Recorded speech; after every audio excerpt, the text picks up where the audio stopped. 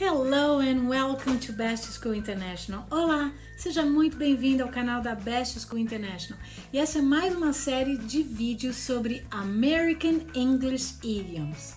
Você conhece a expressão Take the bull by the horns? E o que significa essa expressão? Take the bull by the horns significa take a decisive action in a situation. Have you ever been in a situation that you needed to take the bull by the horns? Então, o que significa essa expressão? Quando você está em um momento da sua vida desafiador, que você precisa entrar em ação, seja tomada de decisão no trabalho, na carreira, mudança de emprego, mudança de país, então são expressões que fazem a gente entrar em ação. Por isso que aqui no desenho é, tá a pessoa pegando o búfalo pelos chifres. Na, na, na realidade, significa tirar você da zona de conforto, entrar para um curso de idiomas, aprender uma nova habilidade.